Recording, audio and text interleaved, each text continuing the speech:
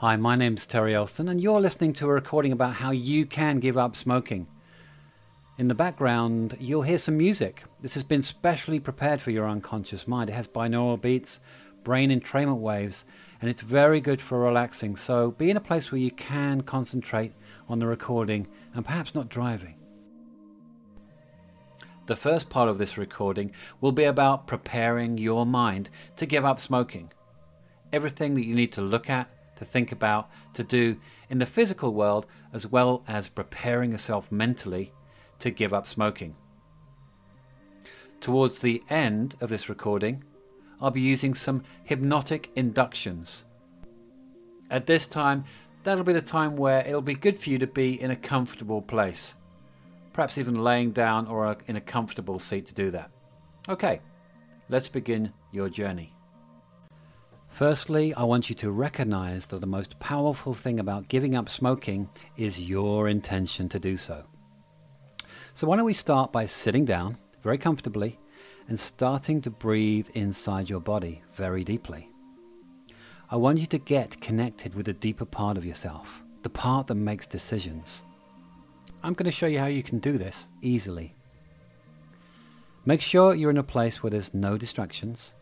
Start this process of breathing deeply inside your body, taking a long breath, slightly longer than normal, and now balancing your breath so that the exhale is the same distance as the inhale.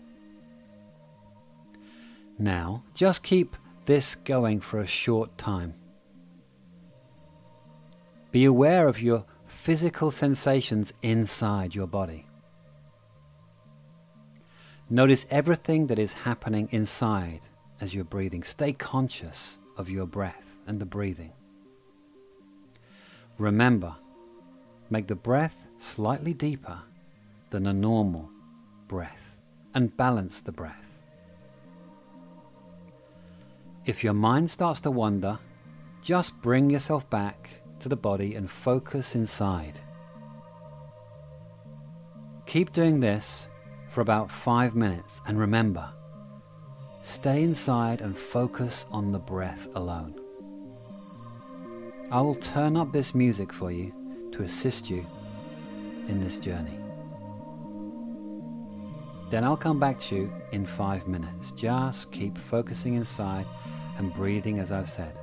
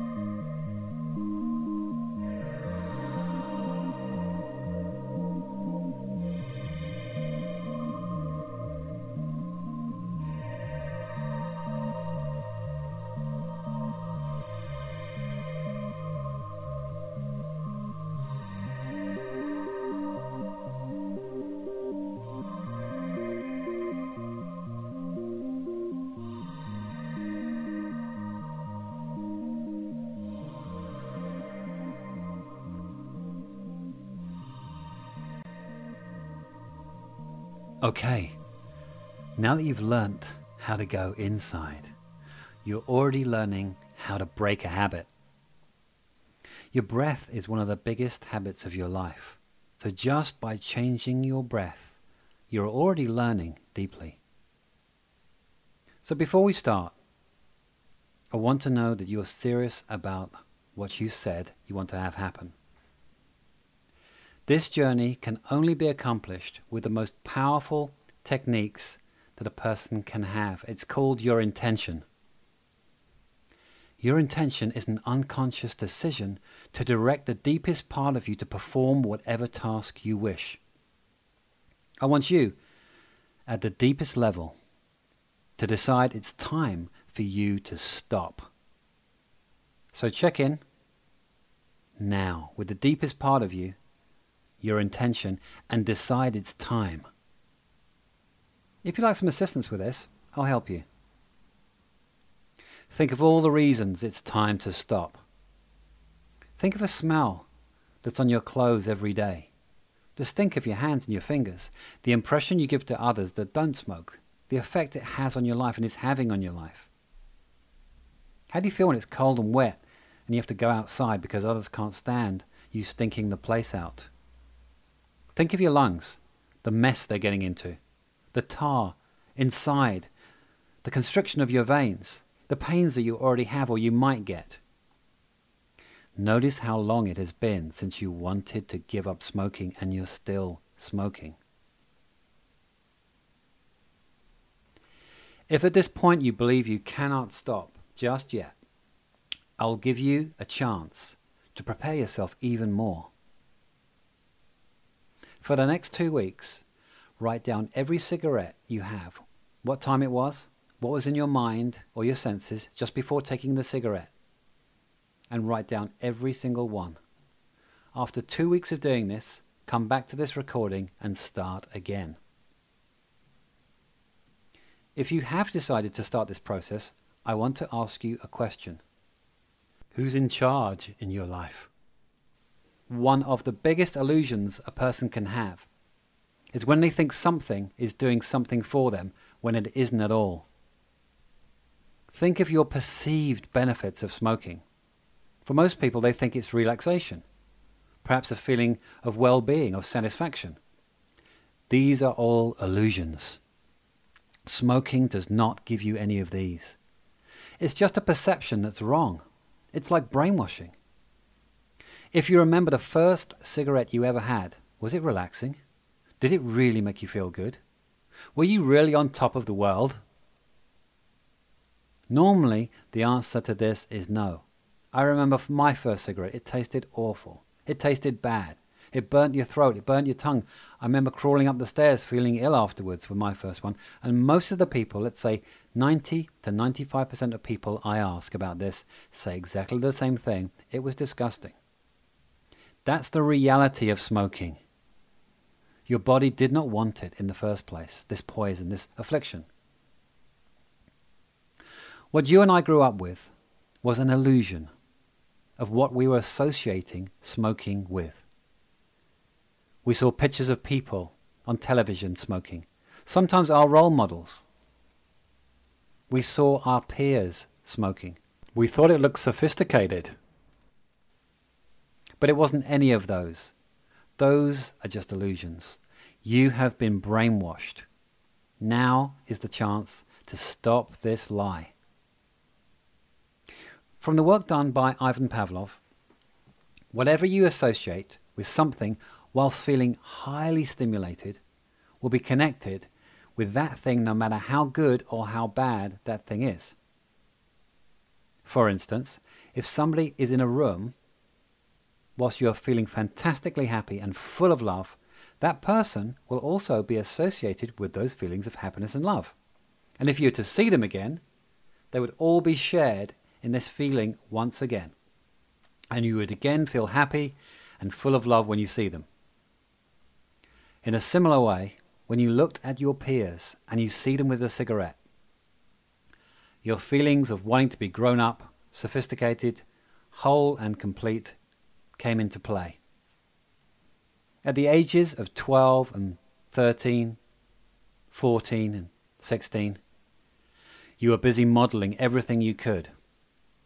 You wanted to be that footballer, the dancer, that politician, the singer. The feelings that you have at that age are so strong that if you would do anything to be like them, you'd do absolutely anything to be like them. So when you see them with a cigarette, that's exactly the way you wanted to be. So let's get real, shall we?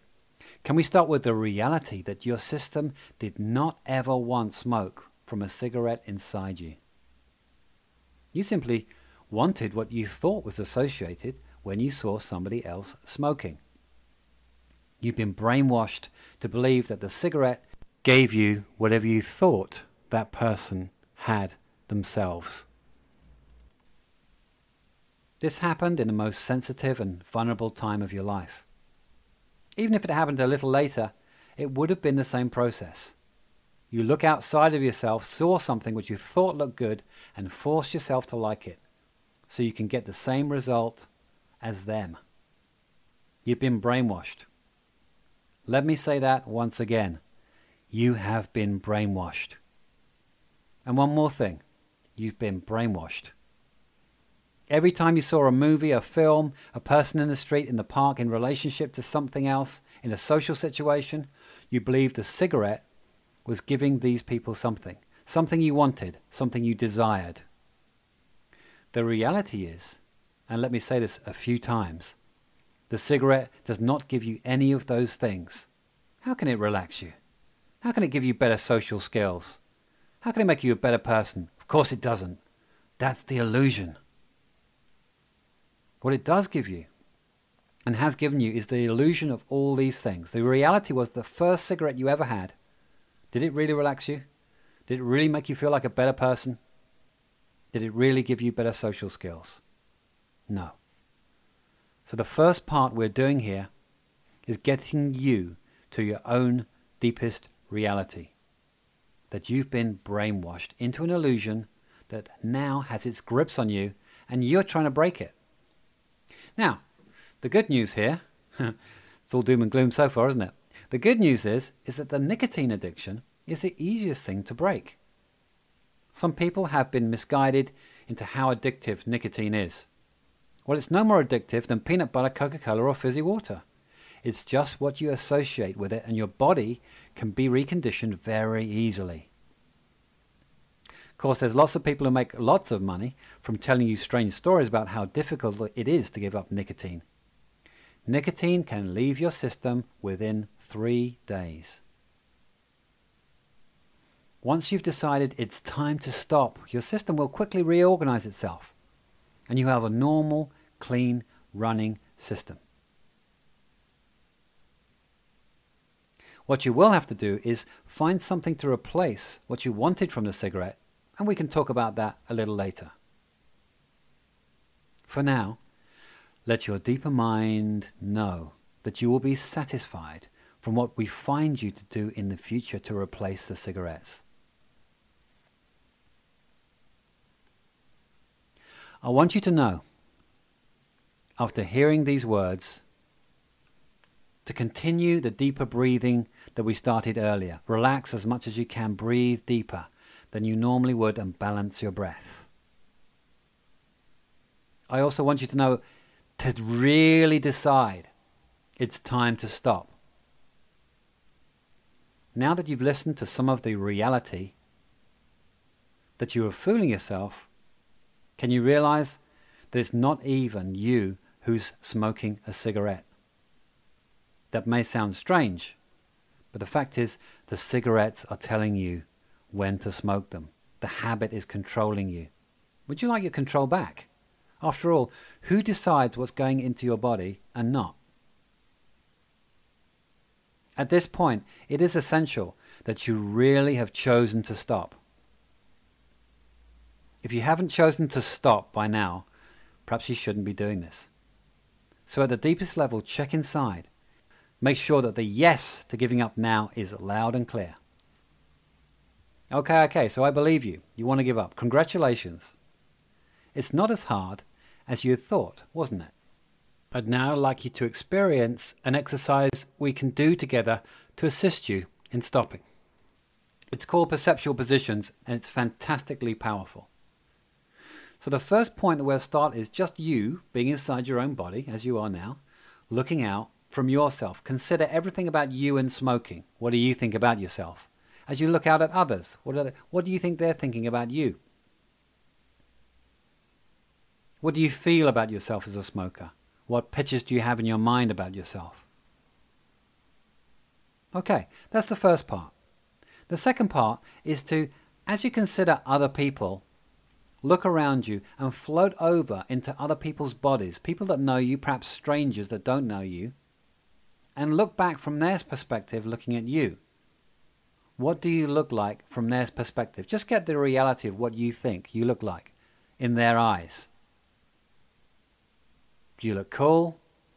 Do you look like you got a habit you can't break? Do you look like you're, you know, you're a smelly person? You're a fantastic person? What does it look like from their perspective? Everybody around you. Just take a little time to do that.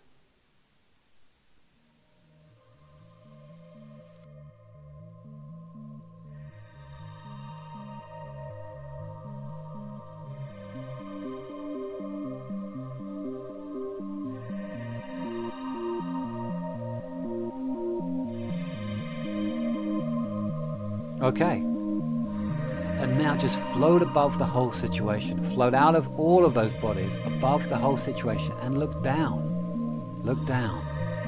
Look down on you, look down on others looking at you. Get the bigger perspective, the bigger picture of what's happening with you and you and being a smoker. How do you see yourself from above? How do others see you from above? From this other perspective. What do you notice from this higher place?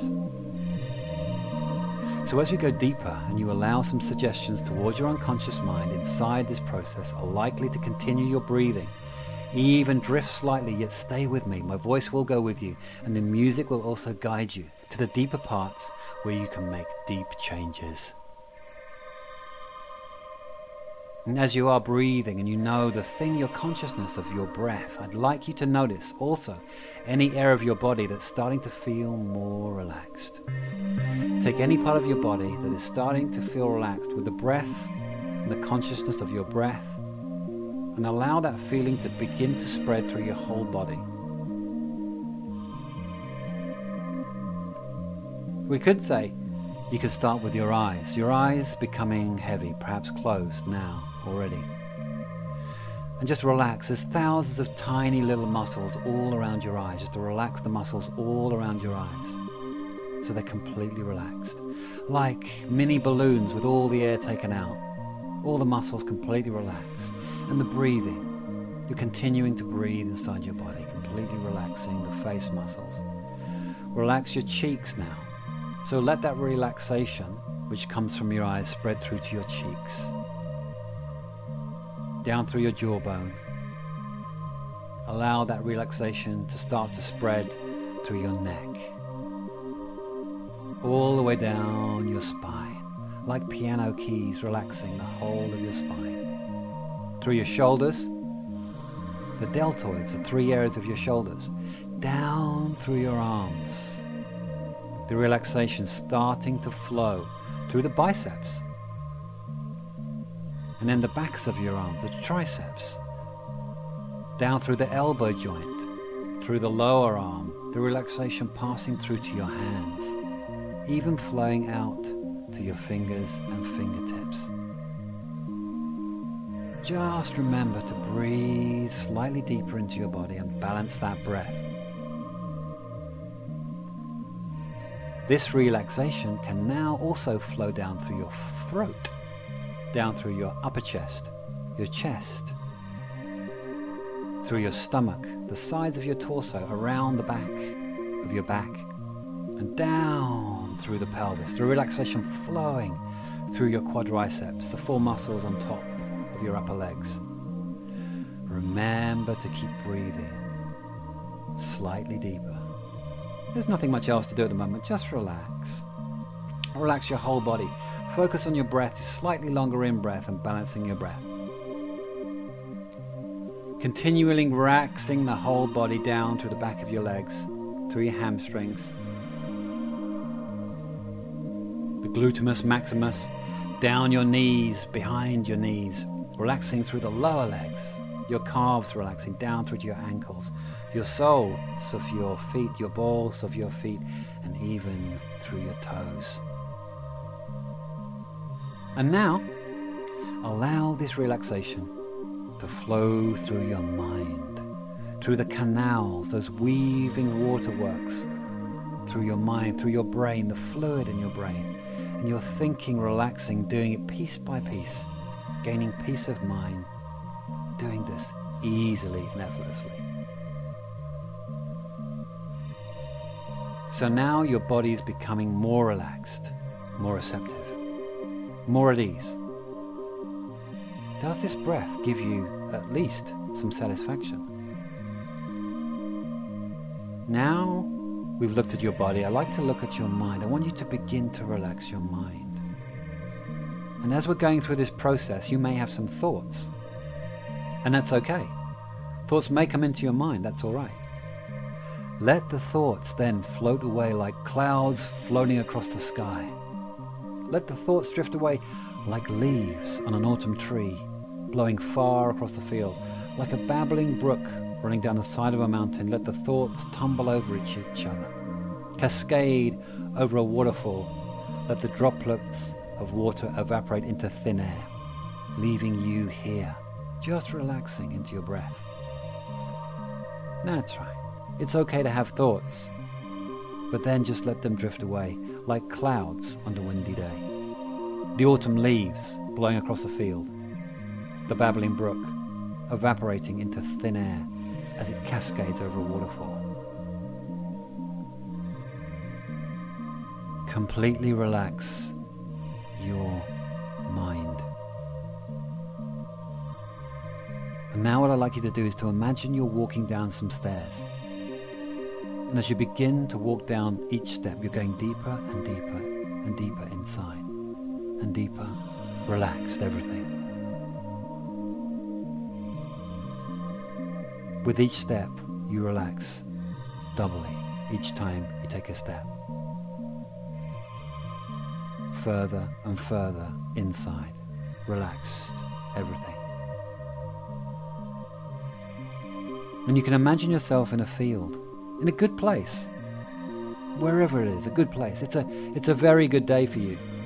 However you like a day to be, the sun may be shining, splintering through beautiful green branches of trees there could be some water nearby, and the sound allows you to travel even deeper on. This unending journey towards your destination.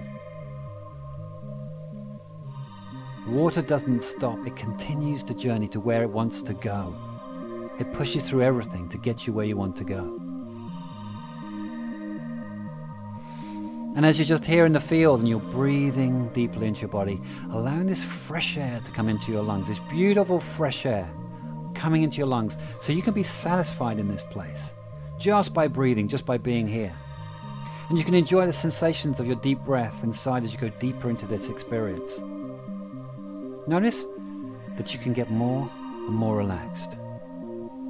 Your body seemingly does not want to move much anymore. It just stays still, still here. It likes to relax everything. It wants to be here, just breathing and being. Nowhere to go, nothing to do, just to be here, breathing.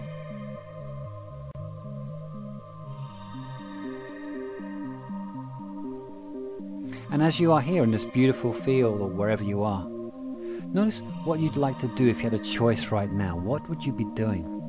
Would you go fishing? Play football? Go dancing? Would you be singing? Would you be with friends? What would make you totally satisfied? What would really make your senses jump into life and be totally satisfied? So deeply that nothing else would matter. Perhaps you'd like to be making love in the deep grass. So your senses are fully satisfied with what you have right now. Your field could turn into a racing track and you could be driving a Formula One car full speed around competing. Perhaps you could be riding and galloping a horse.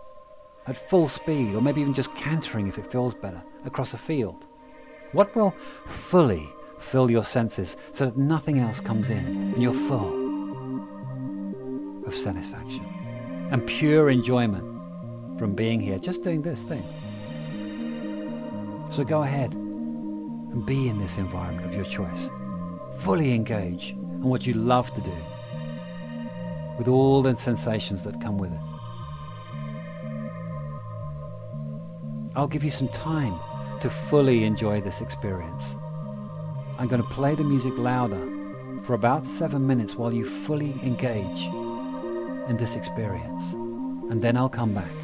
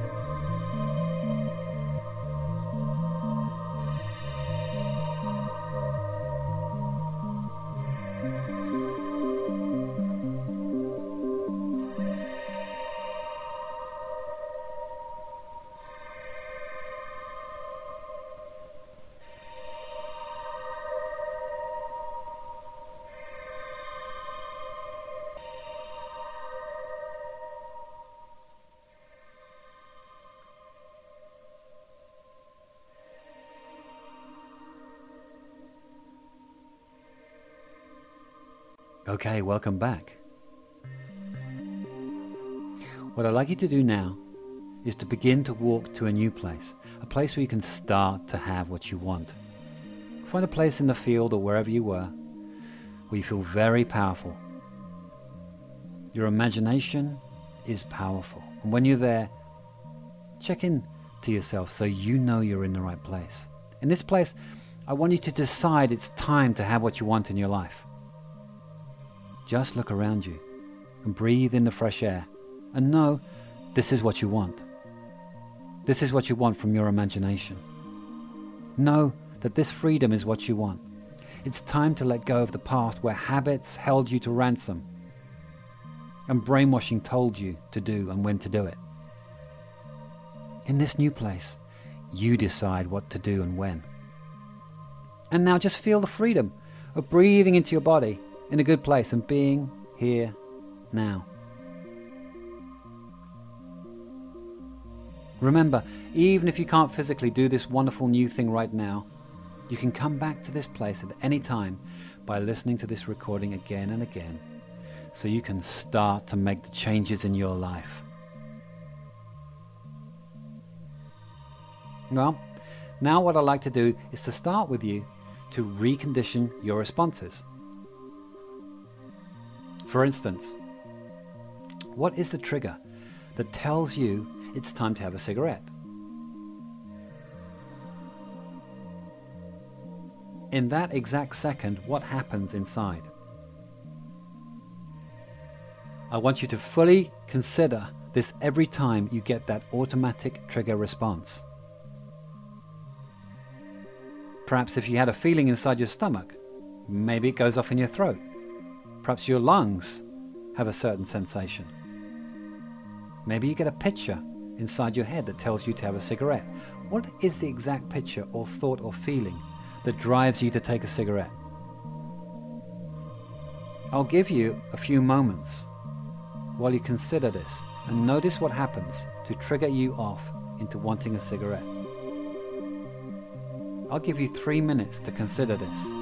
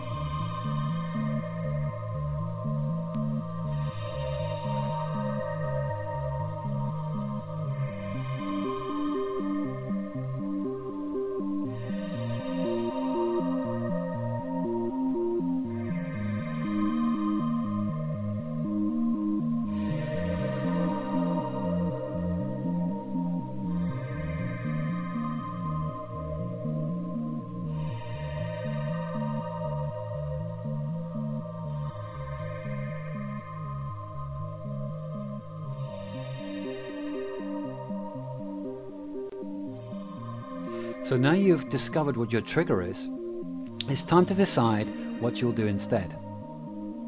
For instance, if you discovered that the incident before you have the trigger response, there is a feeling in the back of your throat or your lungs, at that precise moment, what will you now do in the future?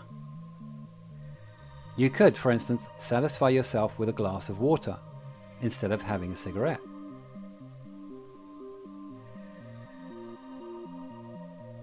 I've had clients who are completely satisfied at the moment the trigger goes off, just taking a deep breath instead. You see, your body wants something, so we can give it something.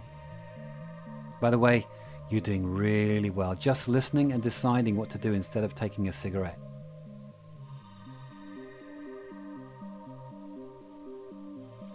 Most of the work you'll do now is through your consciousness and training yourself to be a thought making being instead of a slave to habits. This may take a few days. To recondition your body and your mind, be prepared to spend at least one week fully conscious and aware of those old habits and willing and able to change things during this time.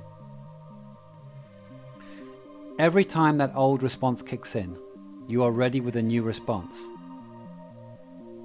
Immediately you will perform this new action instead. If you have decided to replace the old trigger with water, then carry water around with you.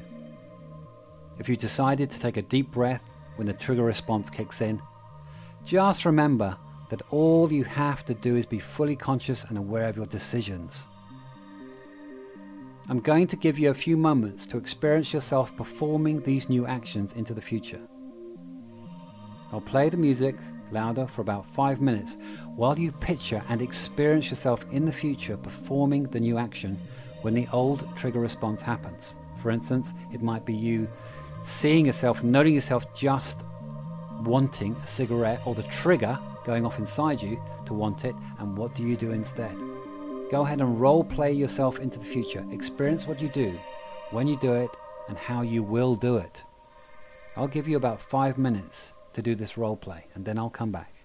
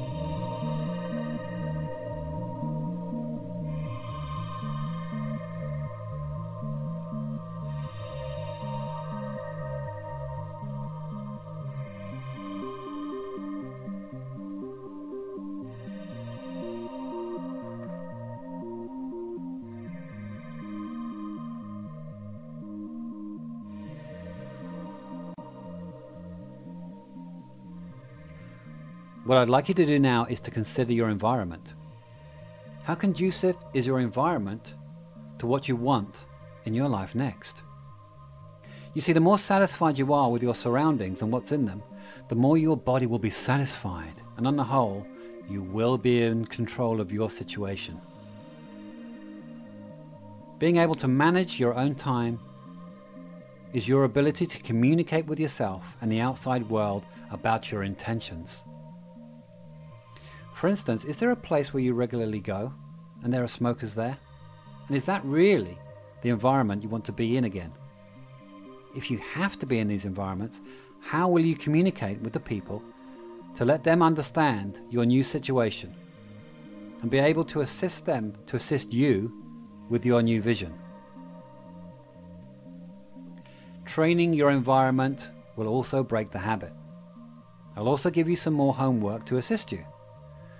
This will not only maintain stopping smoking, it will assist you in other areas of your life as well.